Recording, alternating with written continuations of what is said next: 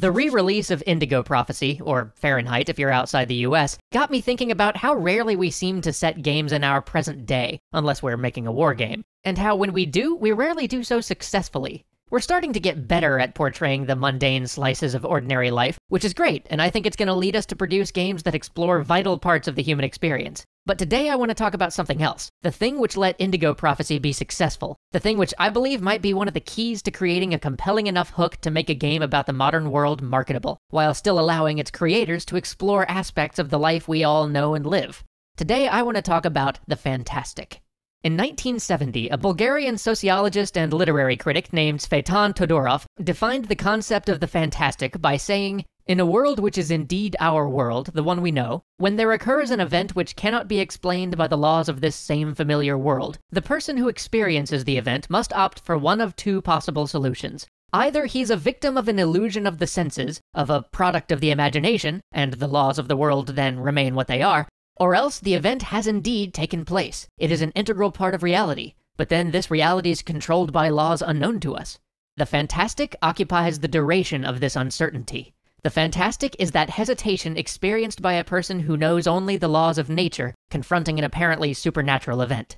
Any of you who have played Indigo Prophecy know exactly what he's talking about. The game starts off in the real world, but then something totally inexplicable happens. Are you hallucinating? Are you dreaming? Or are you insane? Or have you just been exposed to a side of the world that you never believed in?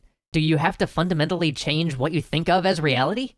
This is a powerful starting point because it hooks us with a good mystery. It lets us have all the excitement of the supernatural while still allowing us to explore our modern day setting. And it forces us to question reality, and thereby forces us to examine it. To put us in the space where we feel the fantastic, Todorov says that there are three conditions that must be present. First, that we believe the world our narrative occupies is the world we know. Second, that the characters within the narrative are as unsure of the reasons behind the fantastic thing they experienced as we are. And third, that we accept the events in the story as happening within the story, rather than simply jumping to poetic or allegorical meanings for the events.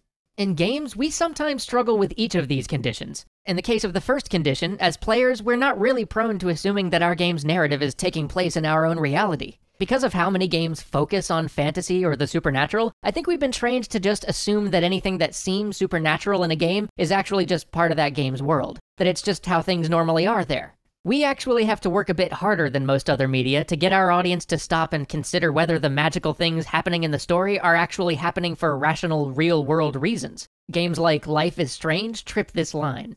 In the case of the second condition, the characters in our games rarely seriously question the reasons behind the fantastic things they experience. When something supernatural happens, our protagonists usually just roll with it. Often, it very quickly becomes the new normal. Whoa, I got superpowers! Alright, let's fight some crimes then! And finally, the third condition requires that we accept the reality of the events of the story, instead of jumping right to the search for allegorical meaning. Even games like Kentucky Route Zero, which are amazing and do an incredible job delivering on magical realism, still don't actually put us in that fantastic space very often, because the nature of the game makes us quick to look for the meaning, the interpretation for any supernatural events that happen. We jump right to this search for meta narrative meaning, which, by the way, is something I love and I think may ultimately be even more valuable than the fantastic. I'm just trying to define the difference between the two. As soon as you start hunting for meta narrative meaning, though, you're no longer questioning the reality of the event within the world the character occupies, because you, the player, are already outside of that world, looking at it as an interpretive piece of art. If we can deliver on these three fronts, though, then we can use this technique to engage and to explore. But there's one more important piece we have to understand about the fantastic before we can really truly utilize it. And that's the fact that the fantastic is the time in which you can't decide if the events are real and have a rational explanation, or they're real and your previous understanding of reality was simply too limited to include them. The key here is that this is almost always a limited time. Both the characters and the players will eventually decide on one of these two ways to perceive the events they've been exposed to. If the events have a rational explanation, they become the uncanny in Todorov's formulation. If, rather, the events are truly real, then the story becomes the marvelous. Either of these tacks can make for a powerful narrative, but as the creator of that narrative, you need to decide on which way you're going early. You need to know when you think the player's going to come to their decision on it, and decide what their decision means for their interpretation of your narrative. In many ways, you can look at the failings of Indigo Prophecy, especially later on, as a failure on these fronts. What's perhaps most interesting to me, though, is how far we can stretch this concept to engage. Even though it isn't the strictest use, I would argue that Gone Home uses the fantastic to bring us in and to keep us questioning and exploring. It takes a subject matter that would seem dull or off putting to some, but then brings the player in by starting us with a disappearance. Seated in the player's mind is the question of whether this disappearance is something supernatural, like we'd expect from most games, or simply something natural. And the player's character shares this doubt. She's a rational, normal person who won't jump to any wild conclusions or accept anything beyond her kin. But as she starts to explore, she has these tiny doubts creep in, in the way that they so easily can in an empty home, alone in a storm.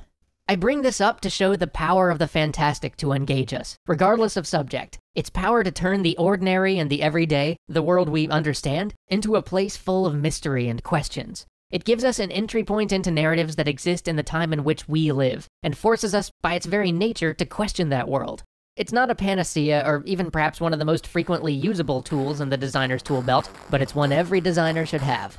Catch you all next week.